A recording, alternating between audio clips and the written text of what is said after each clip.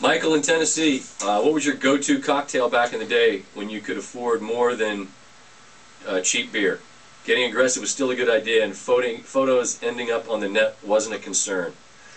Uh, I, I, I have have only one cocktail of choice, and it was uh, whatever your brand of vodka is. Malibu floaters. So, some kind of a Sprite, Seven Up, either one's fine, and some limes. Uh, I could drink a hundred of those. Here's the new thing about the photos. Just whenever the photo's taken of you, even with just normal people, make yourself look awful in it.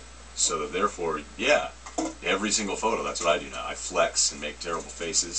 So that way, like, was he hammered? I don't know. Maybe.